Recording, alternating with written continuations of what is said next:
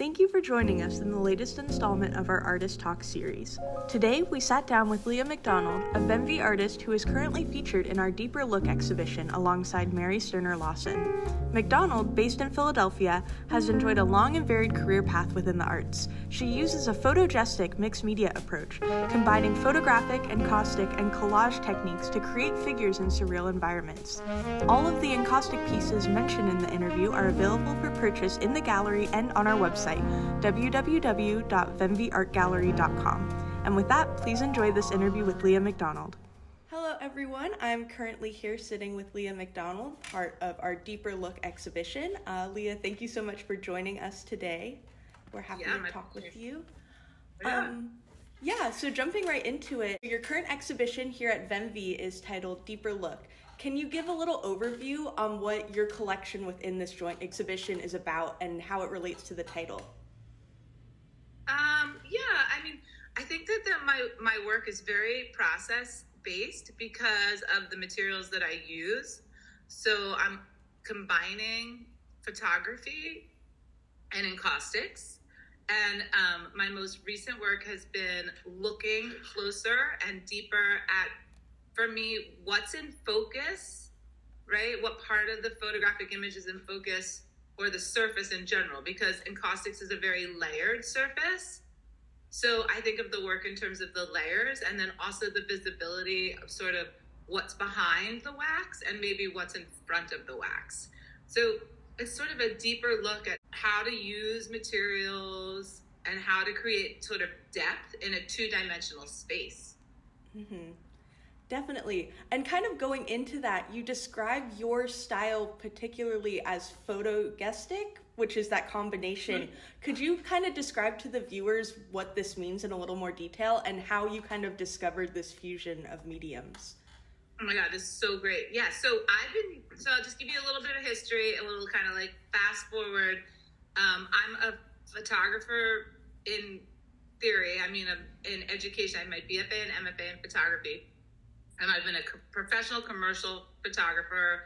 I've owned my own book company. I've owned my own studio. I've freelanced. So I've really been working as a freelance artist and art educator my whole life. Mm-hmm. But in college and graduate school, um, for those of you you know who have gone through art education systems, you find that you're um, controlled or, or, or your work is affected by the people around you. So for me, I was the quote unquote rebel.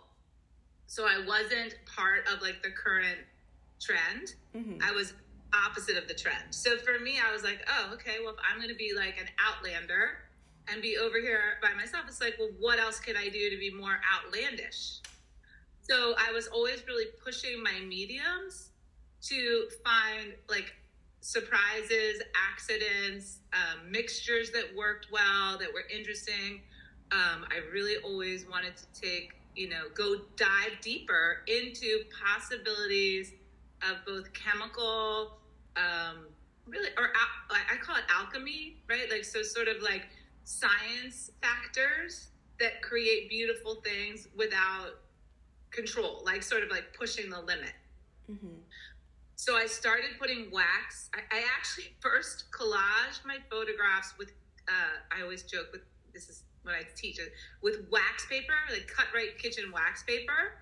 And I just really love that look of sort of like being able to control the visibility of the image. So I would cover the photos with the wax paper or tissue paper and then peel them back. So I really like that con- kind of control and sort of give and take of what was revealed, what you could see and what you couldn't see, right? So mm-hmm. these are also concepts used in photography with shallow depth of field or blur. And in the view camera, which is also something I use, you can tilt and shift the planes of the camera to control the focus, right? So, like, part of the image can be in focus and then part can be out. So, those are some of the things that I really like to look at. And then I like black and white photography, but the encaustics allowed me to add layers of color too, and other textures or designs or mark making. So I sort of rebelled against, um, you know, what the current trend of my MFA program was, and sort of went way out on this limb and was like, well, I'm going to develop these alternative photographic processes or altered surface photographs that over the years and just recently, photogestic came together being like a kind of merger of photo photography and caustic and sort of that very physical contact and expression that comes from me when I'm working on the images. Whenever people come into the gallery, I always tell them that you can almost get lost in each one of your pieces of art because there's so many different things going on. And I feel like every time I look, I like find something that I didn't see the first time. Well, right, and it's been so interesting too when you follow like a medium or you, you know, I kind of, I mean, not, not to say like, you know, I think every medium has like newcomer like new things like technology changes a medium or techniques or other artists you learn about. And now with the internet and instagram and all the youtube videos we're all sharing all this information. So i feel like my career kind of fast forwarded in the last couple of years going to like a major encaustic conference and meeting a lot of encaustic artists. And then what happens is you take your technique or process and you go oh wait i could add that or i could add that or i could add so it's been a lot of growth in the last couple of years and one of the nice things is just um, i learned how to print on a like a lighter weight paper. Mm-hmm. so now i have images used, the images used to always lay on the back closer to the panel and then the wax would go on top and then designs and drawings and whatever. And now i'm able to put an image in the back as well as images in the front with sort of wax layers in between. So it's been pretty exciting. Yeah backtracking a little bit, you've described earlier that you've kind of done a little bit of everything, getting your um, degree in photography and owning the art studio and things of that nature. Could you give us a little bit more background on your development as an artist from kind of the start and what kind of inspired you to pursue this field? Um, yeah, I mean, it was interesting. I mean, as a young person, I was always like art and animals, right? So, like, I loved horses and animals, and I always have loved art. So, um, I think you know, I, maybe like as you're growing up, you you know, you kind of go like, oh, these these two directions, and I'm still very much the same as a, as I was as a child. I'm still my life is filled with art and animals, and really my career has been nicely kind of um, whatever I've done professionally or artistically has also been filled with teaching experiences, right? Mm-hmm. So I come from a family of teachers, and teaching has um, just kind of always been a way that I could share what I'm doing in art and make a living and sort of, you know, experience myself and also really develop the work because when you're like a college level teacher, your students, you're encouraging them to create bodies of work, but you also are creating bodies of work to like set that example. Mm-hmm. So, I mean, my my art career is just kind of it's just sort of been like a, a path, right? Like one thing sort of led to, to the next. I mean, I definitely started out early in life wanting to be a documentary like street photographer, hmm. which is so ironic because now I do like very like like new you know figurative work and new. It's like so. I guess when I got to art school, I went to a very very I would say traditional art school where we had to learn all of the mediums, including like we had to be proficient in painting, proficient in sculpture, printmaking, film photography. So I think that really encouraged me to be like art artsy, you know, like like find a find a topic that was important to me as an artist and, and develop a body of work about it, finish finish a body of work, then be like make a book, you know, like that whole process was kind of ingrained in me as a, at a in a college at that level. So now every time I'm like, okay, I'm developing a body of work, I'm creating an exhibition, you know, titling. It's so it sort of just becomes a, a, pra- a practice, like a routine. Mm-hmm. Yeah, definitely. And kind of going back to the, how you grew being a teacher all i think all of the artists i've interviewed so far have all had educational experiences as teachers and so it's interesting to hear how much being an educator influences your own art I think that's just an overarching theme with everyone, you know? I think it's probably, I mean, I don't know how anybody could work like a non artistic job and then come home. I mean, maybe, but that works for some people. Like for me, my whole life is my art, like my house. Like, I mean, I just recently uh, produced a 70 imaged photography show, and my whole living room was my framing. I mean, I framed 70 pieces. So, like, literally, you know, I have a studio outside, I have a studio. I mean, I think that for me, like, the artist lifestyle, the life, it, it's just, it's my whole thing. It's not like, it's not compartmentalized, like, two days a week I'm in my studio. Mm-hmm. So, it's, it's nice for me to just feel like I'm truly myself. And, but I do like different, I have different job like employment jobs where I apply those different skills that are all me, the artist. Absolutely. Um, yeah. So, kind of looking at this body of work in particular, um, there's this recurring motif of flower and female imagery. Yeah. In all of almost all of these pieces. What do they represent within your art and what kind of draws you to these depictions when you create? Um, I think I'm still like in a transition. So if you look, like if you research my my work, like in 2010, I had a major retrospective of all nude female figures, and that work was very focused on social and political um, body image issues. So I've done very deep, deep thinking and processing and digging to the female figure, to working with women who've suffered trauma to empowering body image and really trying to help people use art and photography to express themselves, share their traumas and tragedies, and overcome them in mm-hmm. joyful ways.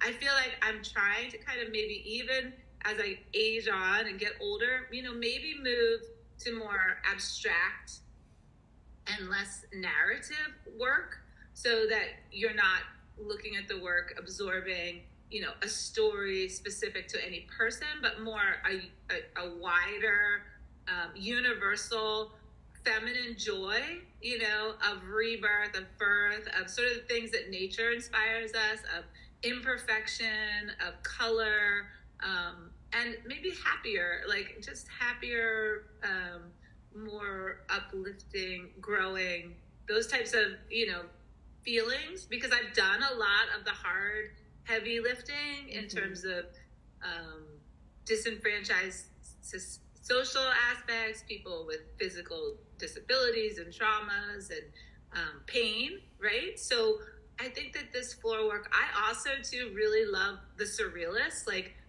um, Dorothy Tanning or fantasy work. And I have, I think, like a childhood poem that's about flowers like it's the weirdest thing. Like I had this like poem in my head before I could even like write, and it's about this like your soul and sort of flowers and nature sort of being like this thread that inspires us consistently to continue on and go through cycles of maybe ups and downs in our lives. So, kind of another question relating to this collection within Deeper Look.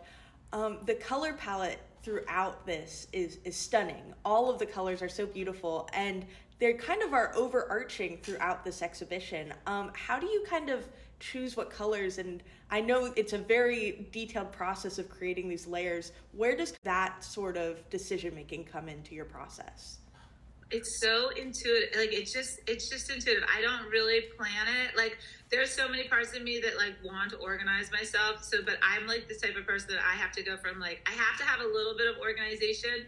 Most of my organization comes in my editing the photographs narrowing them down to a couple images. So if you really look closer at the images and the pieces there's probably only about five to six photos in the entire show Mm-hmm. So the photos are repeated. So one of the reasons that I do that as an art educator too is I sort of believe in that mathematical equation sort of thing or science variability that like if you use so many variables you're never going to have a consistent result. Mm-hmm. So I narrow myself down to like a certain I call them like handful or field or batch of photographs I print them in multiple sizes, and then I just go out to the studio and I sort of and I collage. So I do a lot of collage work. That's a big, big aspect of my paintings is the base collages where I cut up the photos, I layer them, I do a lot of um, masking with white, blacks, and whites.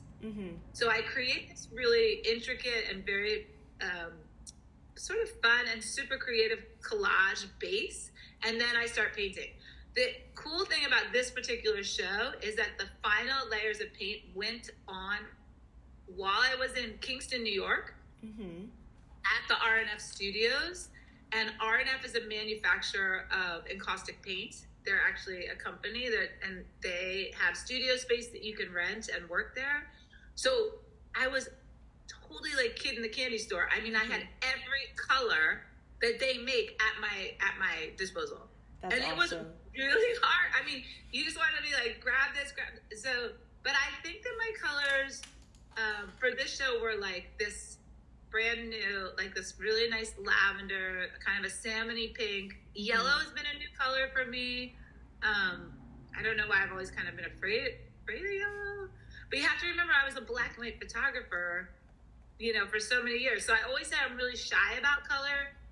And I can remember, you know, 10 years ago, people would go, Oh, we just want more color in your work. And I'd be like, I'm not ready yet. Like, I'm not mm-hmm. ready yet. Um, but now I think I'm getting better. You know, I'm just having fun with it. I, I don't really know. I never know how anything's going to turn out. Mm-hmm. You know. Yeah, well, it all has turned out wonderful so far. This uh-huh. show is beautiful. Um, kind of to to wrap things up a little bit. Sure. What do you want visitors to take away from this exhibition as a whole when they walk in and look at your work? Oh, that's really hard. I mean, um, I want the work to take people places. Like I, I love, I love empowering like imagination and creativity, and um, also joy and intuition. So those are like like if people feel moved or like they've, um, you know, stepped into my imagination on some level, even you know that that sort of leaving your reality and stepping into this realm of, of dream space or other possibilities. If i can take if the paintings take people there or uplift their you know uplift them or give them make them feel good because they're pretty those are the kinds of things I, I would like people to take away. But I, I, I like to evoke emotion and imagination